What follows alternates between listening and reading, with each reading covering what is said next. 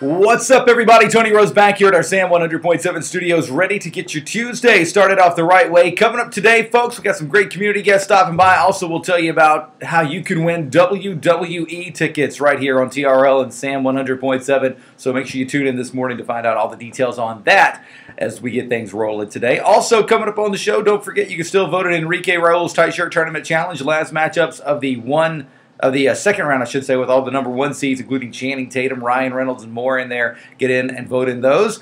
Also, today on the show, of course, the Colonel will be stopping by and much more, all right here on SAM 100.7. Tip Top Tuesday as well with some great workout tips from BAC, workout while you get ready for work, and much more. All on the way. Don't forget, we're on Twitter at Tony Rose Show with the hashtag TRL. You can find us there. So, a lot of stuff coming up right here on a cold, kind of snowy Tuesday morning out there in the Sam Nation, right here with Tony Rose Morning Show on SAM 100.7.